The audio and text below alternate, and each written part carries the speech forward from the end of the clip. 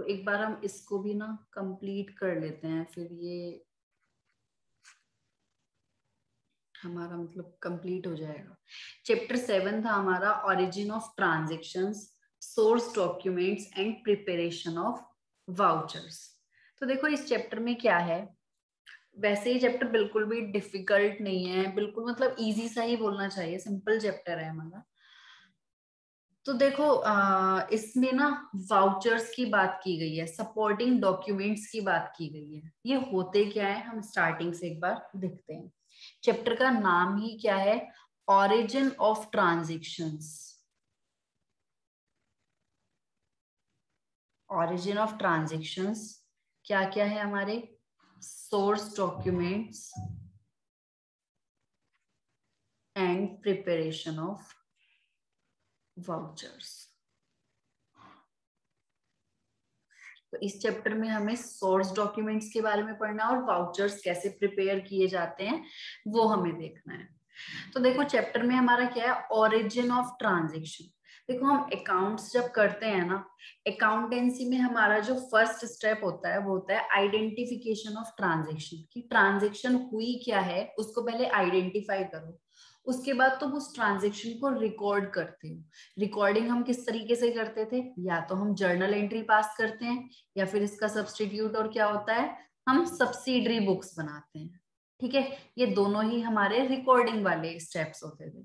तो ये जो जर्नल एंट्रीज पास की जाती है ना, ये होता क्या है? देखो, तुम कहीं भी अगर कुछ भी खरीदने जाते हो तो तुमने देखा होगा, तुम्हें वहाँ से तुम्हारी ट्रांजेक्शन का एक प्रूफ मिलता होगा। कुछ ना कुछ तुम्हें स्लिप वगैरह कुछ इनवॉइस या फिर कोई आ, कुछ ना कुछ बिल मतलब कुछ ना कुछ तुम्हें ज़रूर मिलता है उसके अगेंस्ट में ठीक है? तो वो जो हमें उसके अगेंस्ट में मिला है जो हमारी ट्रांजेक्शन हुई है उसके अगेंस्ट में हमें जो भी आ, सामने वाली पार्टी ने हमें जो भी बिल कुछ भी चीज़ हमें जो दी है एक रिसिप्ट कुछ भी दिया होगा वो हमारे उस ट्रांजेक्शन का एविडेंस होता है कि हाँ ये जो ट्रांजेक्शन हुई थी हमने इसके अगेंस्ट में पेमेंट कर दिया है या ये ट्रांजेक्शन में था क्या? मतलब हमें उसके अगेंस्ट कोई ना कोई बिल स्लिप कुछ ना कुछ ज़रूर मिलती है। तो इस चैप्टर में कुछ उन्हीं चीज़ों की बातें की गई है। तो देखो जब कोई आ, मान लेते हैं हमारा बिज़नेस है हम कोई भी बिज़नेस कर रहे थे अब हमने किसी पर्सन को कुछ सेल किया ठीक है? हमने अपने गुड्स सेल किए। तो गुड्स जब हम सेल करेंगे तो हम सामने वाली पार्टी को एक इनवॉइस या फिर एक कैश मेमो ये चीज़ें क्या होती हैं हम अभी देखेंगे। हम उसको कुछ ना कुछ उसके अगेंस्ट में बनाकर देंगे। तो तुम्हें क्या लगता है अगर कोई ट्रांजेक्शन हुई तो हमें क्या, उस बिल की ज़रूरत क्यों पड़ती है? हमें उसको क्यों रिकॉर्ड करना पड़ता है एट दैट टाइम हमें देखो मेनली उसको रिकॉर्ड इसलिए करना पड़ता है क्योंकि जब हमने सेल्स की है सेल्स के टाइम पर जो बंदा सेल कर रहा है, वो तो सीधे जर्नल एंट्री रिकॉर्ड नहीं करेगा। मतलब रिकॉर्डिंग का तरीका वैसे तो जर्नल एंट्री है, लेकिन इसके और इसके बीच में हमें एक कुछ ना कुछ रिसिट, कुछ बिल, कुछ ना कुछ जनरेट करना पड़ेगा, जिसको बेस बनाकर हमारी ट्रांजेक्शन को रिकॉर्ड किया जाता है। मतलब जर्नल एंट्री हम डायरेक्टली पास थोड़ी ना कर देंगे कि जो बंदा सेल कर रहा है, वो साथ साथ जर्नल एंट्री भी पास करता चलेगा। ऐसा तो पॉसिबल नहीं है। तो हम क्या करते हैं, हमारे पास सभी ट्रांजेक्शन का कुछ ना कुछ एविडेंस होता है। उन एविडेंसेस के बेसिस पर ही हम आगे का अकाउंटिंग प्रोसेस स्टार्ट करते हैं। तो ये जो एविडेंस है, यहाँ पर इस चैप्टर में उन्हीं ट्रांजेक्शन उन्हीं चीज़ों की बात की गई है। Origin of transactions source documents and preparation of vouchers तो देखो होता क्या है? हमारे पास ना कुछ सोर्स डॉक्यूमेंट्स होते हैं। सोर्स डॉक्यूमेंट्स क्या होते हैं? कोई भी ट्रांजेक्शन हुई है उसको हमने आ, कहीं उसको रिकॉर्ड किया है या हमने कुछ भी बनाया है जैसे एक ना जैसे हम मान लेते हैं कैश सेल्स करते हैं। अगर हमने कैश में गुड्स सेल किए, अगर हमने कैश में गुड्स सेल किए तो एक कैश मेमो बनाया जाता है। थोड़ा शायद डिस्टरबेंस आ सकता है, आज घर में थोड़ा सा काम चल रहा है तो। एक ना उसका कैश मेमो बनाया जाता है। ठीक है? कैश मेमो क्यों बनाते हैं? जब हमने कैश सेल किया तो उसके लिए एक मतलब अब मैं सारी चीज़ें वैसे बनाकर तुम्हें दिखाऊँगी कि कैसे कैसे हमारी ये चीज़ें बनती हैं। कैश मेमो बनाया जाता है। तो ये एक टाइप का हमारा सोर्स डॉक्यूमेंट है। मतलब हम एट दैट टाइम उसका एक फॉर्मेट टाइप का होता है। उसमें हम उसको रिकॉर्ड कर लेते हैं कि हमने किस पार्टी को सेल किया है। कितनी क्वांटिटी हमने सेल की है? क्या उसमें क्या आइटम है जो हमने सेल किया है? उसका अमाउंट उसकी फुल डिटेल उसमें होती है। ठीक है? तो कैश मेमो एक टाइप का क्या है हमारा? सोर्स डॉक्यूमेंट है, या फिर मैं उसको बोल सकती हूँ, ये हमारा सपोर्टिंग डॉक्यूमेंट है। देखो, हमारे ना दो टाइप के होते हैं मेनली डॉक्यूमेंट एक हमारे होते हैं सपोर्टिंग डॉक्यूमेंट और एक हमारे होते हैं अकाउंटिंग एक होते हैं मतलब सपोर्टिंग वाउचर्स मैं ये बोल सकती हूँ। एक हमारे होते हैं अकाउंटिंग वाउचर्स सपोर्टिंग वाउचर्स हमारे क्या है और अकाउंटिंग क्या है? अकाउंटिंग वाउचर्स तो एक तरीके से जैसे हम जर्नल एंट्री रिकॉर्ड करते हैं ना, उनको उस फॉर्म में बनाया जाता है। लेकिन सपोर्टिंग वाउचर्स हमारे मेन होते हैं मतलब जो ये सेल्स और जर्नल एंट्री के बीच में एक तरीके से कुछ आया है ना तो ये हमारे यहाँ पर सपोर्टिंग वाउचर्स होते हैं एक तरीके से। इनके बेसिस पर ही हम जर्नल एंट्रीज मतलब ट्रांजेक्शन को रिकॉर्ड करना स्टार्ट करते हैं। तो जब हमने किसी को कैश में गुड्स से सेल किए तो हमारा उस फ़र्स्ट सपोर्टिंग डॉक्यूमेंट के बारे में अगर मैं बात करती हूँ तो सबसे पहले हमारा इसमें दिया गया है क्या? कैश मेमो तो हम कैश मेमो कैसे बनाएँगे देखो? कैश मेमो सिंपल क्या है? कैश मेमो के बारे में एक तो तुम्हें ये पता होना चाहिए, जब हम कैश में गुड्स सेल करते हैं तो ये हमारा क्या कहलाया जाता है? ये हमारा कैश मेमो बनाया जाता है। जब हम गुड्स कैश में सेल करते हैं तो हम उस केस में क्या बनाते हैं? कैश मेमो बनाते हैं। कैश मेमो में देखो क्या क्या होता है? अगर मैं सिंपली इसको बना के दिखाऊँ, एक छोटा सा फॉर्मेट हम आ, पार्टी का ऊपर हम कौन है? पहले तो हम अपना नाम लिखेंगे हमारा क्या नाम है? हम कौन सी पार्टी है? मान लेते हैं हमारा बिज़नेस किसी नाम से ऐसे है कुछ मैसर्स राज एंड कंपनी ये हमारे बिज़नेस का नाम है तो हम यहाँ पर अपना नाम लिखेंगे अपना यहाँ पर एड्रेस लिखेंगे ठीक है? ये सब चीज़ें हमारी यहाँ पर होंगी। हम किस चीज़ में डील करते हैं हम यहाँ पर वो भी लिखेंगे। पूरी डिटेल मतलब हमारी लिखी जाएगी। अब देखो, ये फॉर्मेट तुम्हें ना लर्न करने की इतनी ज़रूरत नहीं है। बस तुम्हें पता होना चाहिए कि ये क्या चीज़ है। कुछ इनको नीड नहीं है कि तुम उसको याद भी करोगे। अब यहाँ पर तुम्हारी क्या है क्वांटिटी आ जाएगी। यहाँ पर डिस्क्रिप्शन आ जाएगा कि तुमने क्या सेल किया है, ठीक है? यहाँ पर तुम्हारा तुम देखते होंगे तुम्हें कहीं से कुछ बिल मिलता है तो उसमें रेट पर यूनिट भी दिया हुआ होता है और हमें टोटल अमाउंट भी गिवन होता है कि टोटल में कितना है। मान लेते हैं तुमने दो क्वांटिटी परचेज की है। तुम्हारा बिज़नेस मानकर चलते हैं कि तुम फर्नीचर में डील कर रहे हो। तुमने दो चेयर सेल की है। तो चेयर का पर चेयर का क्या रेट है? मान लेते हैं एक चेयर फाइव हंड्रेड रुपीज़ की है। तो यहाँ पर कितना हो जाएगा? अमाउंट वन थाउज़ेंड हो जाएगा। तो ये हमारा सिंपल क्या है? कैश मेमो और क्या सेल किया है? पूरी डिटेल आएगी। मान लेते हैं तुमने दो टेबल भी सेल की है। तो दो टेबल आ गए यहाँ पर। एक टेबल मान लेते हैं टू हंड्रेड की है। तो दो टेबल का प्राइस फोर हंड्रेड हो गया। दोनों का टोटल कर देंगे। हमारा आ गया फोर्टीन हंड्रेड ये हमारा क्या है? कैश मेमो है। कैश मेमो में हमने देखो सिर्फ़ अपना नाम लिखा है मतलब हमने सिर्फ़ अपना डिस्क्रिप्शन दिया है और और क्या हमने डिटेल दी है कि हमने क्या सेल किया है, उसका क्या रेट था, कितनी क्वांटिटी थी, वो सब चीज़ें हमने यहाँ पर लिखी हमने इसमें सामने वाली पार्टी का नाम नहीं लिखा। हमने कैश मेमो में किसको हमने गुड्स सेल किए हैं, उसका नाम कहीं भी नहीं लिखा। ठीक है?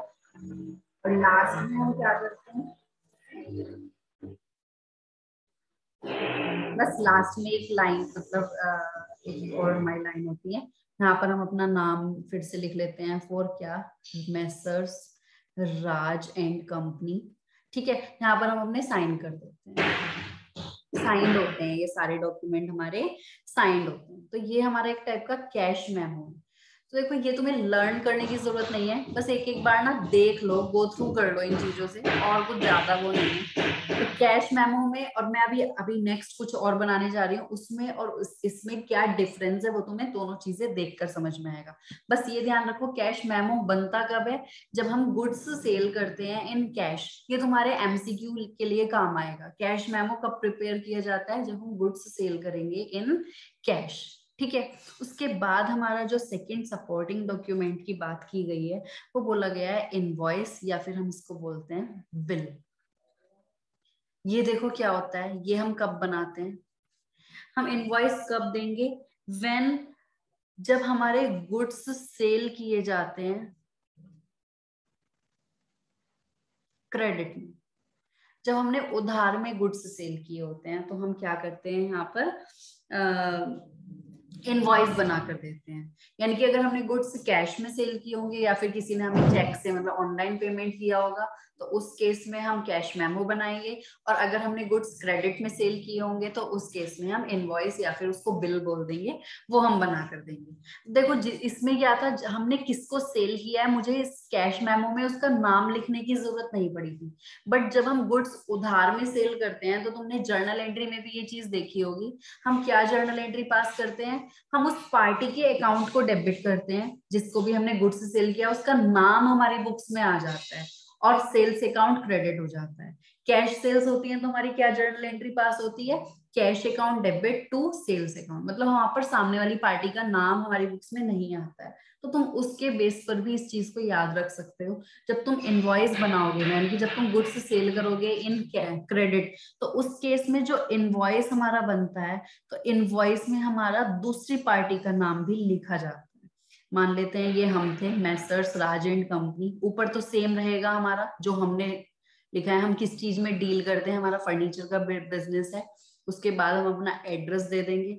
ये तो हो गया हमारा डिस्क्रिप्शन हमारा डिस्क्रिप्शन इसमें इधर डेट भी आ जाती है। ये डेट वगैरह ना ऊपर भी आएगी, मैंने लिखा नहीं डेट यहाँ पर भी आएगी। इसका नंबर भी आएगा। हमारा सीक्वेंस चल रहा होगा ना, जो भी हमारा नंबर चल रहा होगा। मान लेते हैं हमारा फ़र्स्ट वाउचर था ये। तो फ़र्स्ट हो गया। यहाँ पर नंबर हो गया टू अब मैं सेकंड कुछ बना रही हूँ। ये इनवॉइस का हमारा फ़र्स्ट है, मान लेते हैं। ये इनवॉइस का फ़र्स्ट है। ठीक है? अब देखो, इसमें ना हमारा बस एक चीज़ का डिफरेंस आ जाएगा कि इसमें हम एक कॉलम एक रॉ और बनाएँगे और उसमें हम सामने वाली पार्टी का नाम लिखेंगे जिसको हमने गुड्स सेल किए हैं। क्योंकि यहाँ पर हम क्रेडिट में सेल कर रहे हैं ना। मान लेते हैं उस पार्टी का नाम है अमित एंड कंपनी। तो यहाँ पर हम उसका नाम लिखेंगे, उसका एड्रेस लिख देंगे। तो इसमें और इसमें क्या डिफरेंस है? बस यहाँ पर रिसीवर का नाम और आ गया। ये कौन है? गुड्स जिसने रिसीव किए यानी कि जो हमारे, जो हमारा डेटर है, उसका नाम और आ जाएगा। क्यों आया इसका नाम? क्योंकि हमने यहाँ पर उधार में गुड्स सेल किए थे। तो हमें पार्टी का नाम भी यहाँ पर देना पड़ेगा। बाकी सब कुछ सेम क्वांटिटी डिस्क्रिप्शन और क्या क्या हमने दिया था? रे।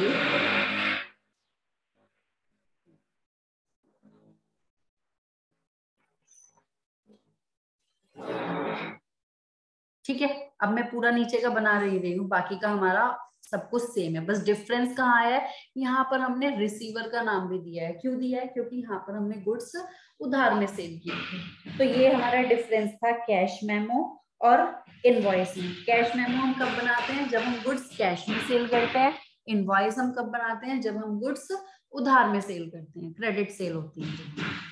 ठीक है? एक चीज़ हमारी, एक सपोर्टिंग डॉक्यूमेंट हमारा होता है रिसिप्ट क्या होता है? रिसिप्ट क्या होती है? नाम से ही पता चल रहा है। अब मान लेते हैं, ये जो हमने ऊपर इनवॉइस बनाया था, इसमें हमने गुड्स सेल किए थे, किसको? अमित एंड कंपनी मान लेते हैं इसका टोटल हमारा टेन थाउज़ेंड हो गया था फॉर एग्ज़ाम्पल टोटल हमारा कितना हो गया था? टेन थाउज़ेंड अब देखो ये अमित एंड कंपनी जिस दिन हमें पैसे दे देगा, उस दिन हम उसको एक रिसिट देंगे कि हमने तुमसे इतने पैसे रिसीव कर लिए। उस चीज़ की हम उसे रिसिट बना कर देंगे। तो रिसिट भी एक टाइप का क्या हो गया? उस पर्टिकुलर ट्रांजेक्शन का प्रूफ हो गया, एक एविडेंस हो गया। तो ये सब हमारे क्या कहलाए जा रहे हैं? सपोर्टिंग वाउचर्स हैं ये सब हमारे। ठीक है, कि जब जब हमारी ट्रांजेक्शन हुई है, उसके अगेंस्ट में हमने तुरंत कुछ ना कुछ बनाया है। कुछ ना कुछ हमने सामने वाली पार्टी को दिया है। इसकी एक कॉपी हमारे पास होती है, एक कॉपी हमारे सामने वाली पार्टी के पास होती है। डुप्लीकेट कॉपी बनाई जाती है। ये रिसीट कब बनेगी? जब हमें कैश रिसीव हो जाएगा या फिर चेक से पेमेंट हो जाएगी। मीन्स जब हमारे पास पैसे आ जाएँगे, चाहे वो ऑनलाइन ट्रांसफ़र किए गए हैं, चाहे वो कैश में रिसीव हुए हैं कैसे भी रिसीव है तो रिसीट हमारी क्या होती है एक तरीके से? जब हमारा कस्टमर हमें क्या कर देता है? जब हमारे कस्टमर ने हमें पेमेंट कर दिया जब हमें पैसे मिल गए हैं तो हम सामने वाली पार्टी को क्या दे देते हैं? रिसीट दे देते हैं। रिसीट का कोई ऐसे पर्टिकुलर फॉर्मेट क्या बताऊँ मैं? बस हमारा, मान लेते हैं हमारे, हमारा नाम क्या है? मेसर्स राज एंड कंपनी ठीक है, ये ऊपर वाली डिटेल तो सेम ही रहेगी। मतलब हमारी हर चीज़ पर हमारा नाम तो सबसे पहले आएगा ही मतलब हम हम दे रहे हैं ना? तो हम कौन है? राजन कंपनी हम अपना एड्रेस भी देंगे। ये तो ऊपर वाली लाइन हमारी हर जगह सेम ही रहेगी।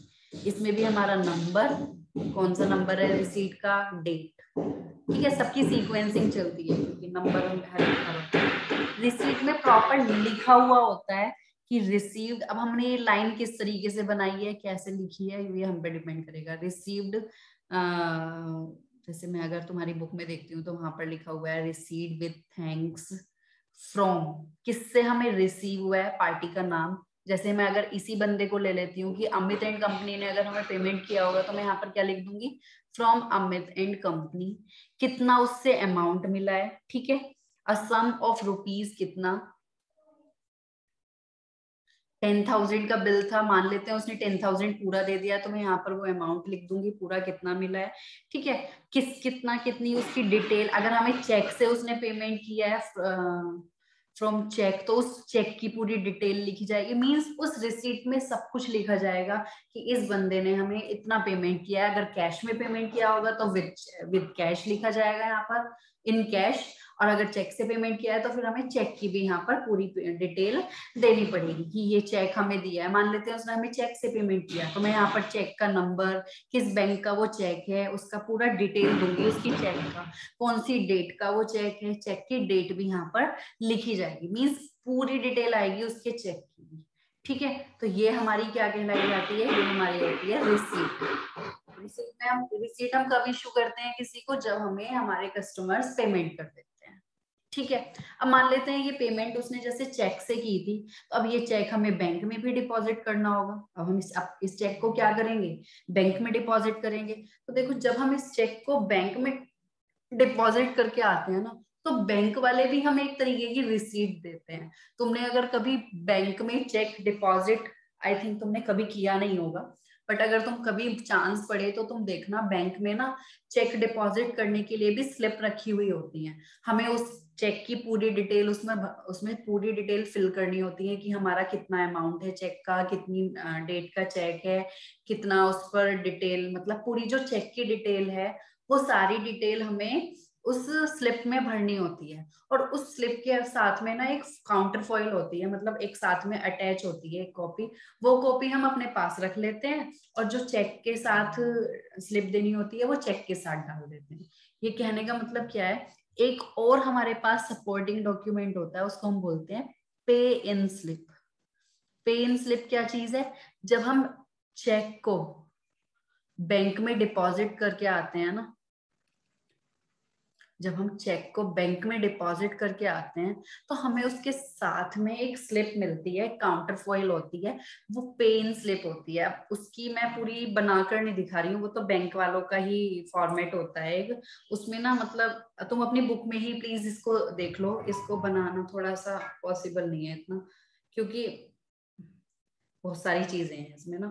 सही लाइन वाइन ये सब कि कौन से बैंक में हमने वो चेक जमा किया है, क्या, कौन सा वो है? मतलब पूरा चेक की डिटेल है ये देखो। ये क्या है? चेक की डिटेल है इसमें। हाँ बहन मैं भी क्लास ले रही हूँ, थोड़ी देर। हाँ।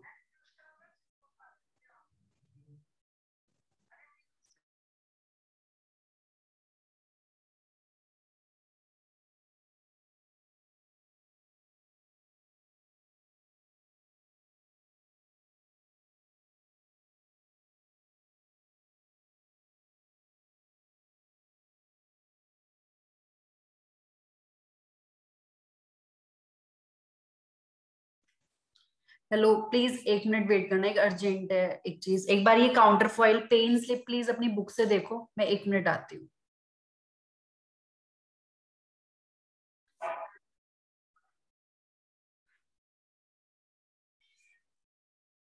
हाँ तो ये हमारी थी पेन स्लिप तो पेन स्लिप मेनली हमें कब मिलती है? जब हम बैंक में चेक डिपॉजिट करते हैं तो उसमें दो पार्ट होते हैं।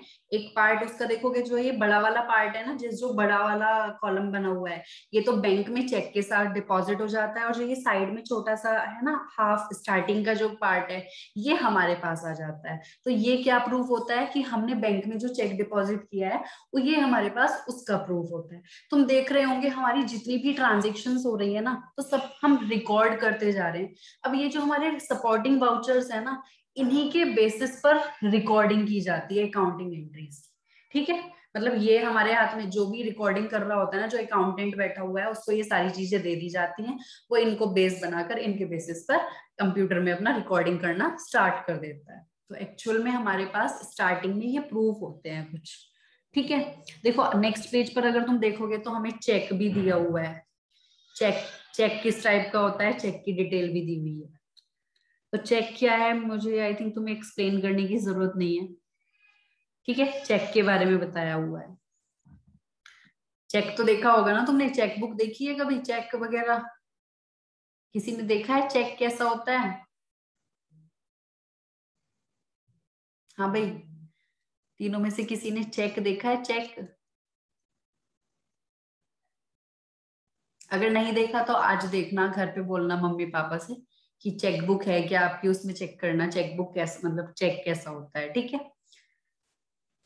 देखो नेक्स्ट जो है, ये हमारा इंपॉर्टेंट है ये पार्ट डेबिट नोट एक होता है हमारा डेबिट नोट एक होता है हमारा क्रेडिट नोट ये डेबिट नोट और क्रेडिट नोट क्या होते हैं? ये इंपॉर्टेंट है थोड़ा सा, ये तुम्हें पता होना चाहिए. डेबिट नोट का मतलब होता है कि जब हमें किसी पार्टी को जैसे तुम जर्नल एंट्री पास करते हो, उससे समझो, तुमने क्योंकि जर्नल एंट्रीज की हुई है तो उससे तुम्हें जल्दी समझ में आएगा। अगर हम किसी का अकाउंट हमने क्रेडिट किया हुआ है, और हमने उसको फिर बाद में डेबिट किया, किसी रीजन की वजह से, जैसे कि मैं यहाँ पर अगर एक एग्ज़ाम्पल लू, मान लेते हैं हमने गुड्स परचेज किए हमने क्या किया था? गुड्स परचेज किए थे। ठीक है? गुड्स परचेज करते हैं तो क्या एंट्री पास करते हैं हम? Purchase account debit. टू, जो भी पार्टी है, मान लेते हैं उस हमने किसी अमित को गुड्स, अमित से गुड्स परचेज किए थे। टू अमित अकाउंट ठीक है, मान लेते हैं हमने टेन थाउज़ेंड के गुड्स परचेज किए तो हमने ये एंट्री पास की होगी।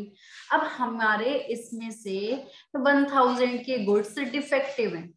क्या है? डिफेक्टिव गुड्स हैं।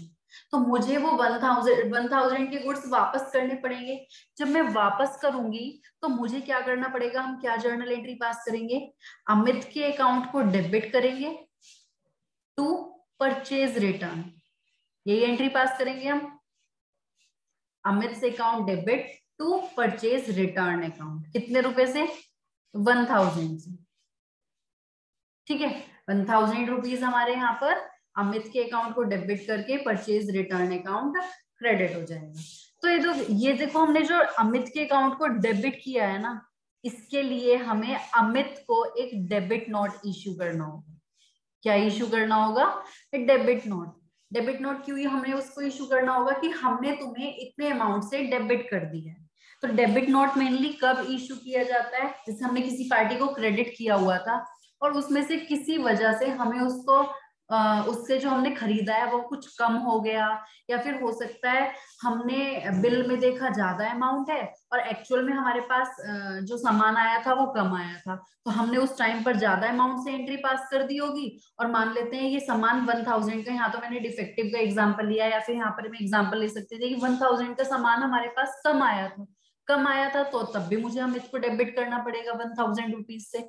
तो ऐसे केस में हम सामने वाली पार्टी को क्या इश्यू करते हैं?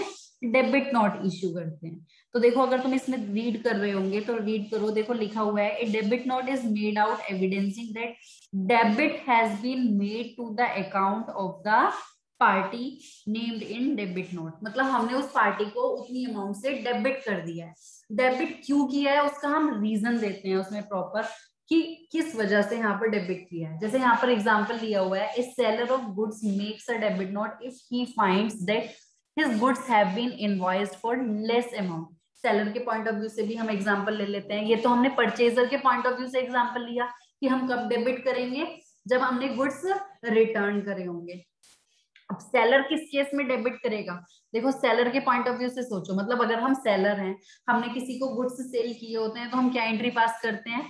हम उस पर्टिकुलर पार्टी को डेबिट करते हैं। मान लेते हैं हमने राम को गुड्स सेल किए हैं तो हम राम को डेबिट करेंगे टू सेल्स अकाउंट ये तो हमारी ओरिजिनल एंट्री हो गई। मान लेते हैं ये फाइव थाउज़ेंड से हुई है। ठीक है, अब यहाँ पर तो हमने क्या किया? राम को डेबिट किया टू सेल्स अकाउंट अब देखो इसमें लिखा हुआ है क्या? कि सेलर हम अब मान लेते हैं ये जो एक्चुअल में सेल्स हुई थी ये फाइव थाउज़ेंड की जगह ये थी फाइव थाउज़ेंड फाइव हंड्रेड की। ठीक है?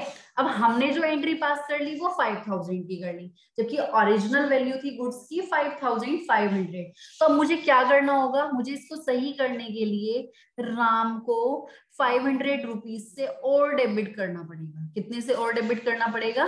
फाइव हंड्रेड रुपीज़ से और डेबिट करना पड़ेगा। तो ये जो मैं ओरिजिनल ट्रांजेक्शन होने के बाद में उसको दोबारा से फाइव हंड्रेड रुपीज़ की डिटेल भेजूँगी, क्योंकि मैंने उस टाइम पर उसको कितने का एविडेंस दे दिया होगा? फाइव थाउज़ेंड का दे दिया होगा बट एक्चुअल में ट्रांजेक्शन थी फाइव थाउज़ेंड फाइव हंड्रेड की। तो मैं यहाँ पर क्या करूँगी? यहाँ पर मैं 500 से जो मैंने और की है ये सेल मुझे इस 500 के लिए क्या करना पड़ेगा? राम को डेबिट नोट इश्यू करना पड़ेगा। क्या इश्यू करना पड़ेगा? Debit note. उसमें मैं क्या लिखूँगी कि मैंने तुमको डेबिट नोट क्यों इश्यू किया है? मैंने तुमको इतने अमाउंट से डेबिट किया है। प्लस उसमें मैं उसका रीजन बताऊँगी कि क्यों मैंने तुम्हें ये डेबिट नोट इशू किया है। यानी कि डेबिट नोट इशू करने के कई सारे रीजन हो सकते हैं। मैंने यहाँ पर तुम्हें तीन रीजन बता दिए परचेजर के पॉइंट ऑफ़ व्यू से भी और सेलर के पॉइंट ऑफ़ व्यू से भी। परचेजर के पॉइंट ऑफ़ व्यू से समझोगे तो ज़्यादा अच्छे से समझ में आएगा। ठीक है? बाकी डेबिट नोट बस ध्यान रखना, जब हम किसी पार्टी को डेबिट करते हैं बाद में मतलब ओरिजिनल ट्रांजेक्शन तो हो गई, अब हमने बाद में उसको किसी और वजह से डेबिट किया है, उस पार्टी को तो उस केस में हम सामने वाली पार्टी को डेबिट नोट इश्यू करेंगे। मैं साथ साथ क्रेडिट नोट भी एक्सप्लेन कर देती हूँ, इसका फॉर्मेट भी बताऊँगी, लेकिन पहले मैं क्रेडिट नोट भी बता देती हूँ साथ साथ क्रेडिट नोट जस्ट इसका अपोजिट हो जाएगा। जब हम किसी पार्टी को क्रेडिट करेंगे, जब हम अपनी बुक्स में किसी पार्टी को क्रेडिट करते हैं क्रेडिट करते हैं जब हम उस पार्टी को तो उस केस में हम उसको इश्यू करेंगे क्रेडिट नोट जैसे कि अगर मैं यहाँ पर एग्ज़ाम्पल लू सेलर के पॉइंट ऑफ़ व्यू से सेलर के पॉइंट ऑफ़ व्यू से देखो, हमने जब उसको गुड्स सेल किए थे तो क्या एंट्री पास की? Ram's account debit to sales account अब देखो, अब उसने हमें कुछ गुड्स वापस कर दिए सेल्स रिटर्न हुई। तो उस केस में मैं क्या करूँगी? देखो सेल्स रिटर्न के केस में sales return account debit to Ram से अकाउंट मुझे राम को क्रेडिट करना पड़ेगा अपनी बुक्स में। तो ये जो मैंने राम को क्रेडिट किया है, मान लेते हैं टू हंड्रेड रुपीज़ की सेल्स रिटर्न हुई। तो टू हंड्रेड रुपीज़ के जो गुड्स मेरे पास वापस आए हैं, मैंने उसके लिए राम को टू हंड्रेड से क्रेडिट कर दिया। तो इस केस में मुझे राम को क्या इश्यू करना पड़ेगा? क्रेडिट नोट इश्यू करना पड़ेगा। तो क्रेडिट नोट हम कब इश्यू करते हैं? जब हमने उस पार्टी को क्रेडिट किया है। किसी भी रीजन की वजह से। परचेज के पॉइंट ऑफ़ व्यू से भी तुम सोच सकते हो, ठीक है? तो क्रेडिट किया है अगर हमने उसको तो उस केस में हम उसको क्रेडिट नोट इशू करेंगे। विद रीजन हम उसमें बताएँगे कि हम क्यों तुम्हें क्रेडिट नोट इशू कर रहे हैं, ठीक है? अब देखो credit note debit note mainly क्यों बनाया गया है? रीजन तो तुम्हें पता चल गया कि कैसे हम मतलब क्यों बनाते हैं उसको। तो उसमें मेनली यही बताया जाता है कि हमने तुम्हें इतने अमाउंट से डेबिट कर दिया है या हमने तुम्हें इतने अमाउंट से क्रेडिट कर दिया है। तो अगर मैं डेबिट नोट बना रही हूँ तो एक छोटा सा उसका मैं फॉर्मेट की अगर बात करूँ डेबिट नोट की, किसकी? डेबिट नोट के फॉर्मेट की। तो डेबिट नोट में हमारा क्या होगा? ये फॉर्मेट लर्न नहीं करने की ज़रूरत है, तुम्हें ये ध्यान रखना। हम अपना नाम लिखेंगे, जो भी हमारा नाम है, हमारा नाम हम लेकर चल रहे थे, राज एंड कंपनी।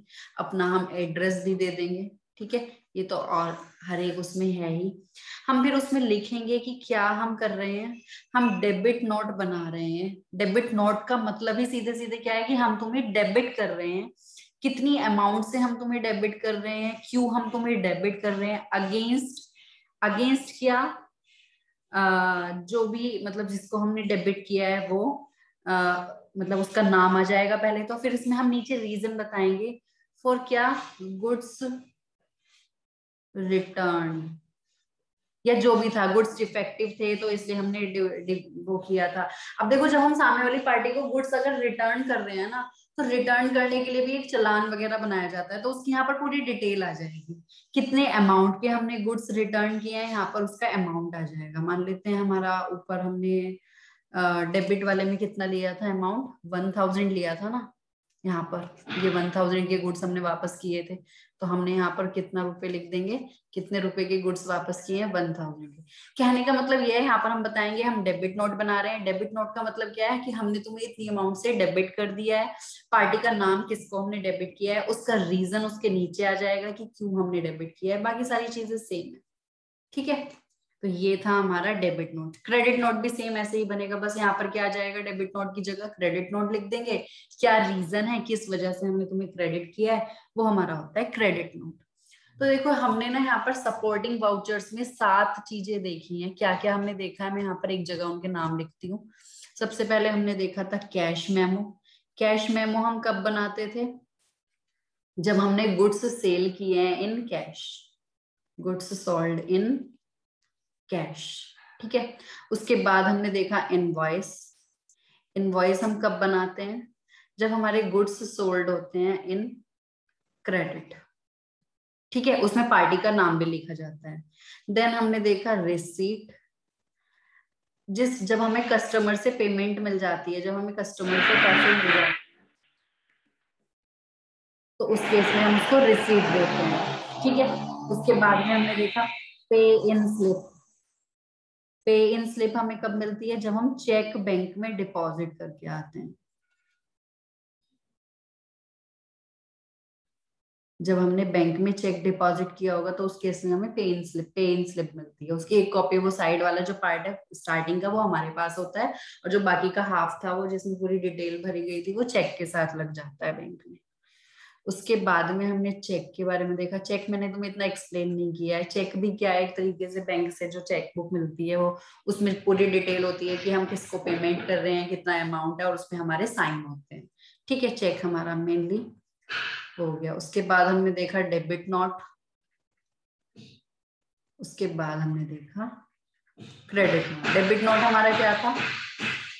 जब हम किसी पार्टी को डेबिट करते हैं डेबिट द पार्टी और उसका हम उसमें रीजन भी बताते हैं कि क्यों हम तुम्हें डेबिट यहाँ पर हम पार्टी को क्रेडिट करते हैं तो उस पार्टी को हमें क्रेडिट नॉट इशू करना पड़ता है। उसमें हम रीजन लिखते हैं कि क्यों हम तुम्हें क्रेडिट कर रहे हैं।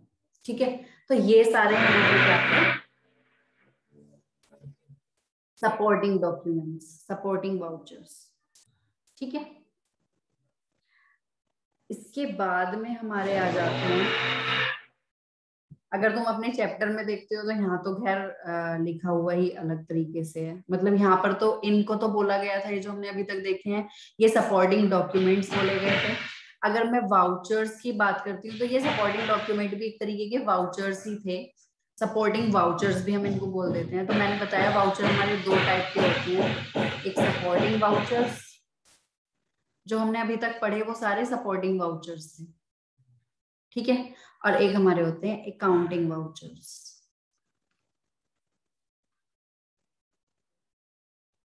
सपोर्टिंग वाउचर्स जो हम अभी तक देख के आए थे सेवन हमने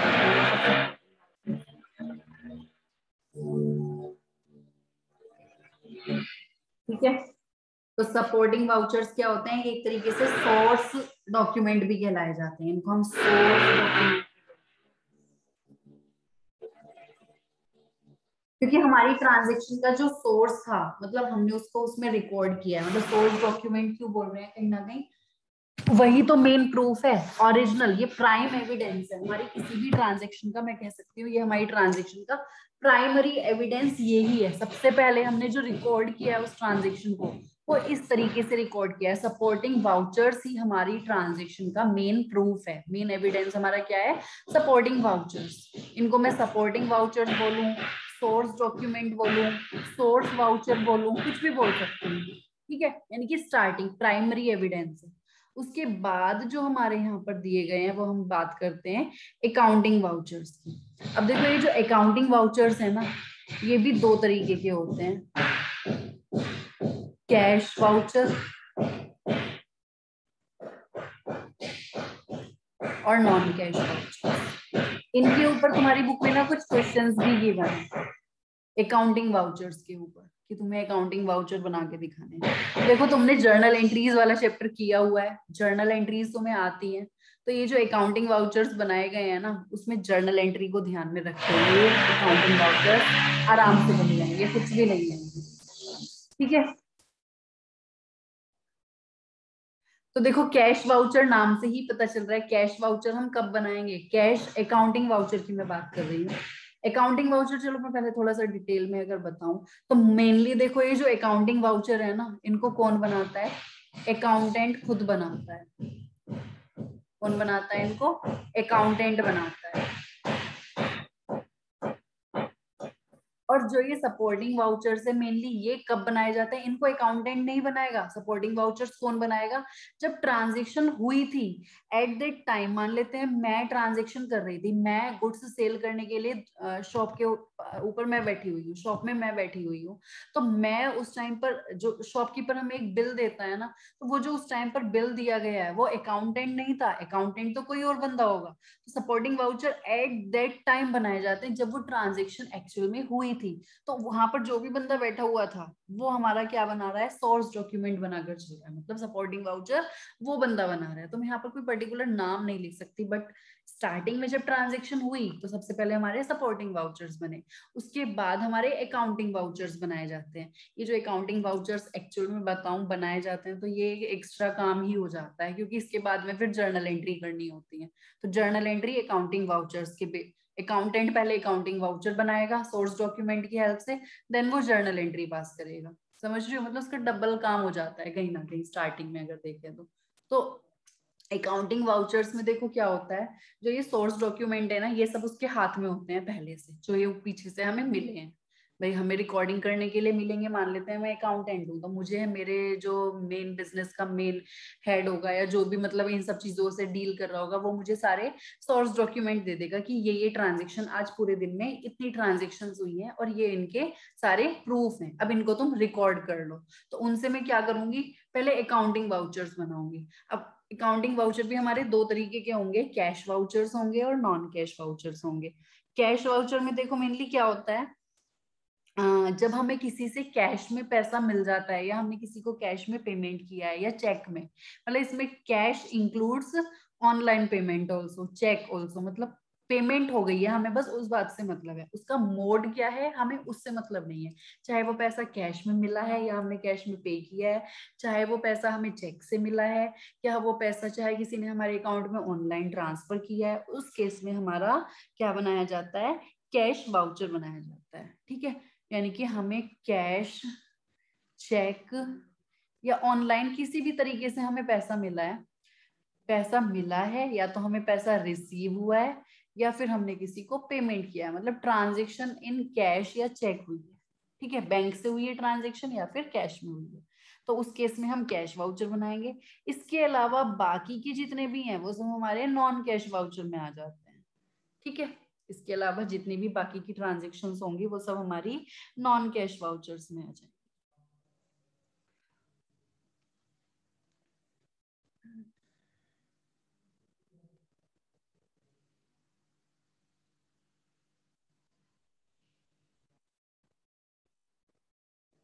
अब देखो होगा क्या यहाँ पर। इसमें भी ना, अगर मैं बात करती हूँ यहाँ पर कैश वाउचर्स की देखो मिक्सअप मत करना चीज़ें। जो हमने अभी तक देखे थे, वो सब हमारे सपोर्टिंग डॉक्यूमेंट्स थे। अब हम अकाउंटिंग वाउचर्स की बात कर रहे हैं, जिसके ऊपर तुम्हारी बुक में कुछ क्वेश्चंस भी गिवन है कि अकाउंटिंग वाउचर बनाकर दिखाओ। तो ये तुम्हें थोड़ा बनाने आने चाहिए तो यहाँ पर मैं इसलिए थोड़ा सा इनको डिटेल में बताती हूँ। अब देखो, जो ये कैश वाउचर है ना, इसके अंदर भी हमें दो चीज़ें दी हुई हैं।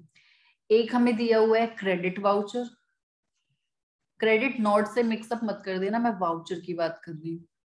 क्रेडिट वाउचर एक हमें इसमें दिया गया है। डेबिट वाउचर अब देखो ये क्यों दिए गए होंगे? ये तुम्हें ना कंसेप्ट समझोगे तो मिक्सअप नहीं होगा।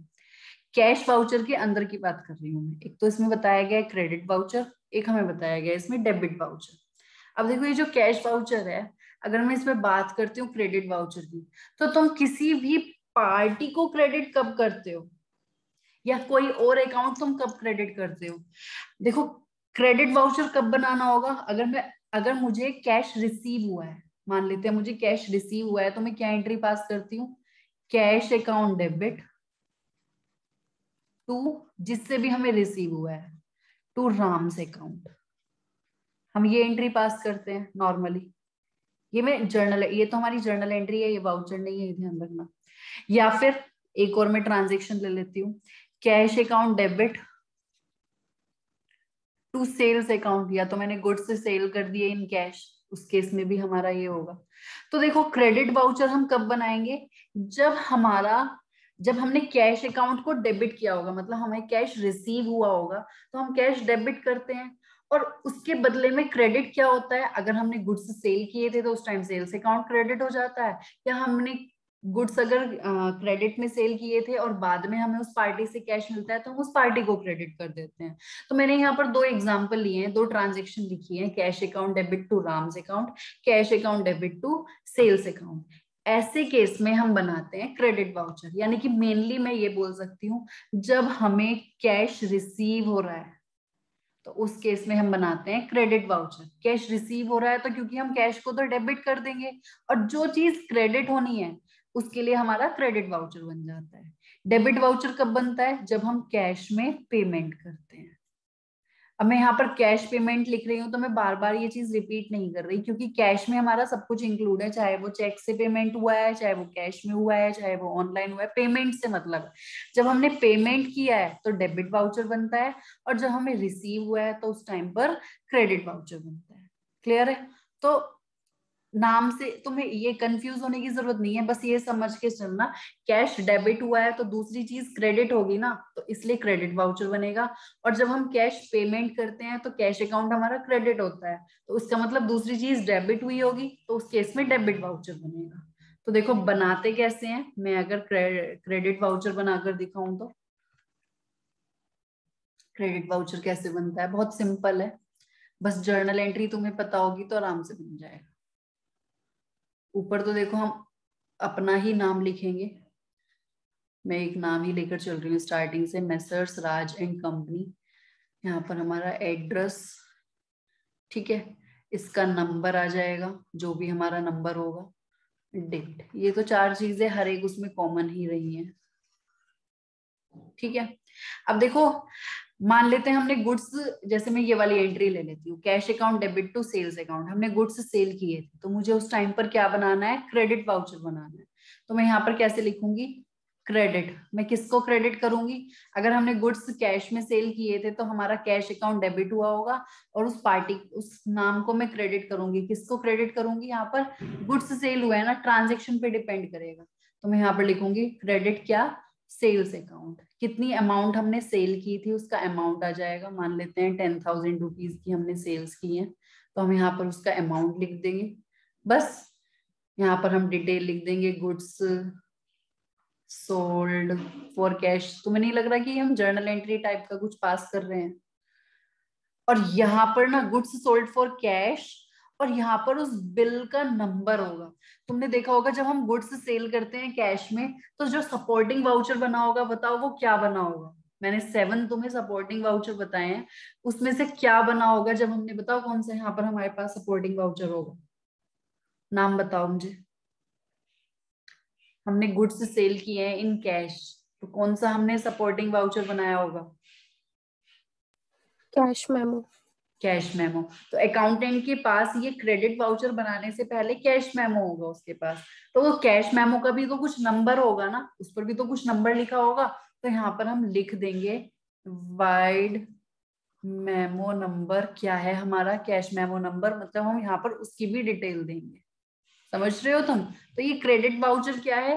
कुछ भी नहीं है, हम सिंपल इसकी जर्नल एंट्री ही टाइप की पास कर रहे हैं। मतलब मैंने यहाँ पर किस बेस पर लिखा क्रेडिट सेल्स अकाउंट तुम्हें अगर जर्नल एंट्री पता होगी तो तुम खुद से लिख दोगे। अगर हमें ये पैसे राम से रिसीव होते तो मैं यहाँ पर क्या लिखती? क्रेडिट राम से अकाउंट यहाँ पर मैं राम का नाम लिख देती। है ना? बस, इसको क्लोज कर देंगे। नीचे भी हम क्या कर देंगे? साइन कर देते हैं। साइन यहाँ पर दो पार्टी के होंगे। एक तो जो इस वाउचर को बना रहा है, यानी कि अकाउंटेंट के साइन और फिर इसको ऑथोराइज भी करता है एक बंदा, यानी कि कोई मैनेजर होगा, इसके ऊपर भी कोई बैठा हुआ होगा, इस पे उसके भी साइन होते हैं। ठीक है? तो अकाउंटिंग वाउचर सेकेंडरी कह सकते हैं हम सेकेंडरी स्टेज पर आ जाता है। प्राइमरी स्टेज पर तो हमारे सपोर्टिंग वाउचर ही है। अकाउंटिंग वाउचर हमारे उन प्राइमरी वाउचर्स की हेल्प से बनाए जाते हैं। बस इतना है। ठीक है? तो वो कैश मेमो इसके हाथ में था, इसने उसके बेस पर ही अकाउंटिंग वाउचर बना दिया। तुम्हें नहीं लगता कि डबल काम हो रहा है। पहले तो वो अकाउंटिंग वाउचर बना रहा है। उसके बाद में वो जर्नल एंट्री भी पास करेगा। फिर वो क्या करेगा? ये सारे अकाउंटिंग वाउचर अपने हाथ में रखेगा। इनको देखकर सिस्टम में जर्नल एंट्री भी पास करेगा। लेकिन आजकल ये काम कोई टिपिकल नहीं है। सॉफ्टवेयर ऐसे आ गए हैं कि तुम एक एंट्री पास कर रहे हो और तुम्हारा उससे सब कुछ बन जाए तुम्हें कुछ भी करने की ज़रूरत नहीं है। तुम्हें बस बेसिक कंसेप्ट पता होना चाहिए डेबिट और क्रेडिट का। तुम्हारे फाइनेंशियल स्टेटमेंट बनकर तैयार हो जाते हैं, एक एंट्री होते ही। और तुम्हें कुछ करने की ज़रूरत ही नहीं पड़ती। ठीक है अच्छा अगर इस केस में मैं डेबिट वाउचर बनाऊँ तो मैं कैसे बनाऊँगी? मान लेते हैं मैंने गुड्स परचेज किए होंगे इन कैश तभी तो मैं डेबिट वाउचर बनाऊँगी? क्योंकि मेरा वहाँ पर कैश अकाउंट क्रेडिट हुआ होगा तो डेबिट किया होगा ना मैंने दूसरे अकाउंट को तो इसलिए मैं यहाँ पर क्या बनाऊँगी? डेबिट वाउचर बनाऊँगी। डेबिट वाउचर हमारा कैसे बनेगा? सेम वही। ऊपर वाली लाइन तो वही कॉमन रहेगी मेसर्स राज एंड कंपनी हमारा एड्रेस ठीक है? यहाँ पर उसका नंबर यहाँ पर डेट अब यहाँ पर मैं क्या लिखूँगी? डेबिट डेबिट में क्या कर रही हूँ? परचेज अकाउंट अब ये देखो कैश वाउचर है ना तो मुझे इससे पता चल रहा है, ये सब हमारे कैश परचेज ही थी। ठीक है? या कैश सेल्स थी। तो मुझे यहाँ पर देखो किसी दूसरी पार्टी का नाम नहीं देना पड़ रहा, बस वो जो हुआ है, जो भी उस ट्रांजेक्शन में हुआ है, हमने यहाँ पर लिख दिया परचेज अकाउंट इट मीन्स ये कैश परचेज थी हमारी। ठीक है? इसकी यहाँ पर डिटेल दे देंगे कि क्या उसका बिल नंबर है गुड्स परचेज यहाँ पर हमारा अमाउंट आ जाएगा। ठीक है? और यहाँ पर नीचे साइन हो जाएँगे। इधर हमारे अकाउंटेंट के साइन हो जाएँगे और इधर हमारे मैनेजर के साइन हो जाएँगे। मैनेजर क्यों लिख रहे हैं? कोई आ, मतलब इसके ऊपर भी एक अथॉरिटी बैठी होगी ना जो इनको पास करेगी कि हाँ ठीक है ठीक है सब कुछ ठीक है इस तरीके से। ठीक है? तो ये हमारे होते हैं सपोर्टिंग अकाउंटिंग वाउचर्स ठीक है? इसमें अगर मैं आगे चलती हूँ, एक चीज़ और बता देती हूँ, आज बाकी पार्ट कल कर लेंगे। कल ये हो जाएगा कंप्लीट क्योंकि कुछ नहीं बचा है। इसमें ना बस वही जर्नल एंट्री का बेस है और उसके बेस पर तुम्हें इसमें क्वेश्चंस दिए गए हैं। तो कल को ना क्वेश्चंस की हेल्प से तुम्हें और अच्छे से समझ में आएगा कि है क्या। ठीक है? बस मैं एक चीज़ और बता देती हूँ आज। मैंने यहाँ पर लिखा था ना कि अकाउंटिंग वाउचर में हमारे सब जो कैश वाउचर है, वो दो टाइप के होते हैं।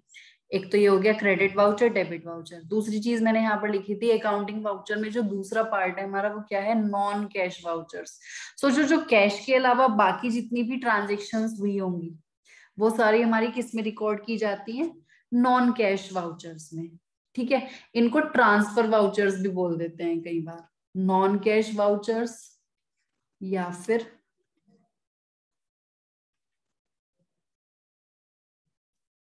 ट्रांसफ़र वाउचर भी हम इनको बोल देते हैं। तो देखो, मुझे कोई ऐसी एंट्री बताओ जिसमें कैश या कैश हमारा डेबिट या क्रेडिट नहीं हुआ होगा। उसका हम क्या बनाएँगे? नॉन कैश वाउचर बनाएँगे। कोई ऐसी ट्रांजेक्शन बताओ मुझे। कोई भी बता दो, बहुत सारी ऐसी ट्रांजेक्शन है। तुम लोग ही बताओ, फिर मैं उसी ट्रांजेक्शन का तुम्हें नॉन कैश वाउचर बनाकर दिखाती हूँ।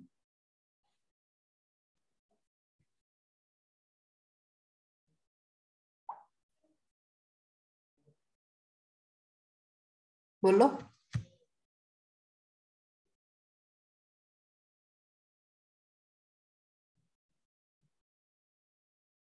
कोई भी बता दो, कोई एक ट्रांजेक्शन भाई जिसका मुझे नॉन कैश वाउचर बनाना है। देखो, अगर हमने गुड्स क्रेडिट में सेल किए होंगे गुड्स सोल्ड ऑन क्रेडिट तो इसका भी तो मुझे नॉन कैश वाउचर बनाना पड़ेगा ना। और इसके लिए हमने कौन सा सपोर्टिंग डॉक्यूमेंट बनाया होगा? गुड्स सोल्ड ऑन क्रेडिट के लिए।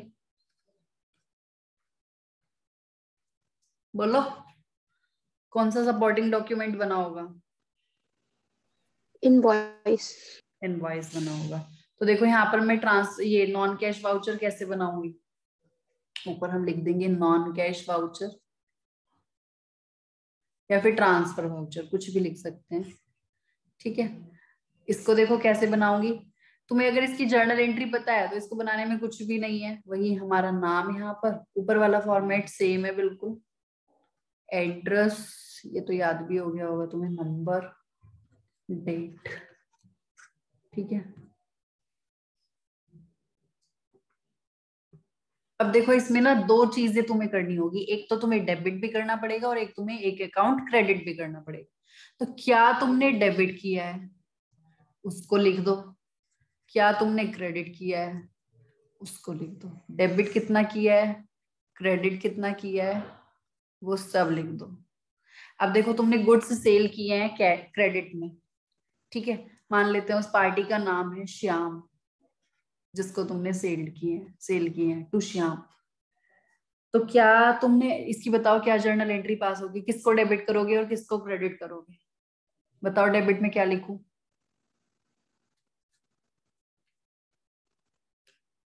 बोलो इसकी journal entry goods sold account debit Shyam account debit to sales account ये करते हैं तो डेबिट में हम क्या लिखेंगे? श्याम का अकाउंट हम डेबिट कर देंगे और क्रेडिट में हम क्या लिखेंगे? सेल्स अकाउंट ये बन गया हमारा नॉन कैश वाउचर तो देखो नॉन कैश वाउचर में डेबिट भी तुम्हें लिखना पड़ेगा और क्रेडिट भी लिखना पड़ेगा। क्यों? क्योंकि दोनों चीज़ें अलग होंगी है ना? कितने अमाउंट से करना है, वो यहाँ पर ना अमाउंट आ जाएगा। मान लेते हैं टेन थाउज़ेंड की हमने गुड्स ली है, फिर यहाँ पर हम नीचे डिटेल लिख देंगे। वही जैसे हमने उसमें लिखी गुड्स सोल्ड टू श्याम और उस बिल का नंबर इनवॉइस का यहाँ पर नंबर आ जाएगा। ठीक है? नीचे उसकी डिटेल दी जाएगी। तो ये है हमारा नॉन कैश वाउचर बस लास्ट में क्या होगा? एक हमारा फाइनल टोटल होगा यहाँ पर। ये इसके ऊपर ही कर देते हैं वैसे तो। और नीचे साइन हो जाएँगे हमारे अकाउंटेंट के और इधर मैनेजर के साइन हो जाएँगे। तो तुमने अगर एक डिफरेंस देखा होगा तो कैश वाउचर और नॉन कैश वाउचर में बस इतना सा ही डिफरेंस है। कैश वाउचर में हम सिर्फ़ अगर देखो कैश हमें रिसीव हुआ होगा तो हम दूसरे दूसरा अकाउंट क्रेडिट करेंगे। हाँ बोलो। मैम अब मेरे दूसरे ट्यूशन का टाइम हो रहा है तो मेरे को लीव करना पड़ेगा। हाँ लीव कर दो क्योंकि बस मैं नया कुछ नहीं करा रही है जो कराया है इसको ही बता रही हूँ रिपीट कर रही हूँ ठीक है? तो देखो जो हमारा कैश वाउचर में हमने क्या देखा है कि जैसे हमने कैश रिसीव किया तो हमने उस केस में क्रेडिट वाउचर बनाया होगा क्योंकि कैश अकाउंट तो डेबिट हो जाएगा तो दूसरा अकाउंट क्रेडिट होगा। तो हमने क्रेडिट वाउचर बनाया तो उसमें सिर्फ़ इतना पार्ट बना ये वाला पार्ट ये ऊपर वाला पार्ट नहीं होगा। कौन से वाले वाउचर में? क्रेडिट वाउचर में। जो हमने कैश वाले में क्रेडिट वाउचर बनाया है तो उस केस में बस इतना पार्ट आएगा। और अगर हमने डेबिट वाउचर बनाया होगा तो यानी कि हमने कैश में पेमेंट किया है, तभी तो दूसरा अकाउंट डेबिट हुआ होगा ना तो उस केस में हमारा डेबिट वाउचर बनेगा। तो उस केस में हमारा ये आएगा, ये नहीं आएगा। लेकिन जब हम नॉन कैश वाउचर बनाएँगे तो हमारा डेबिट भी आएगा और क्रेडिट भी आएगा। क्योंकि हमें दोनों चीज़ें बतानी है। समझ रहे हो? तो हम वाउचर को देखकर भी बता सकते हैं कि ये क्या चीज़ हुई है। इस ट्रांजेक्शन में हुआ क्या होगा? वाउचर को देखकर भी तुम ये चीज़ बता सकते हो आराम से, अगर तुम्हें कंसेप्ट क्लियर है। ठीक है? जैसे मैं इस वाउचर को देखकर बता सकती हूँ। मैंने यहाँ पर डेबिट किया, श्याम को क्रेडिट किया सेल्स को। इट मीन्स हमने क्या किया होगा? श्याम को उधार में गुड्स सेल किए होंगे, तभी तो डेबिट भी किया है और क्रेडिट भी किया है और यहाँ पर उसकी डिटेल भी होगी। तो हम वाउचर को देखकर भी ट्रांजेक्शन पता लगा सकते हैं कि इस ट्रांजेक्शन में क्या हुआ। क्लियर है? तो ये था हमारा नॉन कैश वाउचर ऑलमोस्ट ये चैप्टर वैसे देखा जाए कंसेप्चुअली कंप्लीट है। हमें कुछ क्वेश्चन करने हैं इसके। पाँच छह क्वेश्चन है। कल की क्लास में हमारा ये पूरा हो जाएगा, ठीक है? अभी तक में कोई डाउट है तो मुझसे पूछ लो। बस ये चैप्टर ना रीडिंग वाले टाइप का चैप्टर है। जब एग्ज़ाम में जाओ तो उससे पहले ना थोड़ा सा ये जो इसका स्टार्टिंग में दिया हुआ है क्वेश्चन से पहले ही थोड़ा सा बस रीडिंग ले लो इसकी, बस, और कुछ नहीं है इसमें। हमें बस पता होना चाहिए कौन कौन से वाउचर होते हैं, उनके नाम, हम कौन सा वाउचर कब बनाते हैं। बस इतना इसमें सफिशियंट है एमसीक्यू में तो इससे ज़्यादा कुछ पूछा ही नहीं जाएगा। इस चैप्टर के तुम एमसीक्यू और फिलअप्स ऐसे भी रीड कर लोगे तो उससे भी काफ़ी कुछ क्लियर हो जाएगा। ठीक है? तो कर लेना इसको कंप्लीट मतलब इतना जो है वो रीड कर लेना, बाकी तो कुछ ऐसा है ही नहीं। बाकी हम, बाकी इस चैप्टर में तो मेरे ख्याल से एमसीक्यूज वगैरह दिए ही नहीं है तुम्हें नॉर्मली हर एक चैप्टर में होते हैं। कुछ ऐसा है नहीं ना खास, ठीक है? तो कर लेंगे कल को इसके तीन चार क्वेश्चन उससे और अच्छे से क्लियर हो जाएगा। बाकी क्लास में हम नेक्स्ट बाकी हम नेक्स्ट क्लास में करते हैं, ठीक है? चलो एंड करते हैं अभी class bye bye Thank you.